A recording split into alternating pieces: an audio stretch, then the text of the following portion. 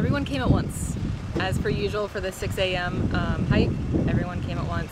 Um, and not everyone had reservations. Actually, majority of people didn't have reservations, which made the line very long and some people are frustrated saying, oh, I should have come here yesterday. We are prepared for those who say, you know, I need a reserv I can't get a reservation, it's my last day. We are prepared for that, like suggesting different hikes, etc. Overall, people are fairly nice and understanding, especially the walk-ins. I hope it'll level the amount of people that come in throughout the day. Instead of having peak hours at 10 a.m., it'll hopefully level things out throughout the day.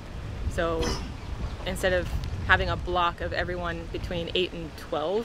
It'll just be waves of people throughout the hours throughout the day. I am passing out this little flyer. This will go directly to the reservation page so you can make a reservation. It also has the fee information, the hike information, and what to bring. Hopefully people will take this and then make their reservations. And hopefully it'll, once we spread it out throughout the day, it'll give people a greater experience at the park.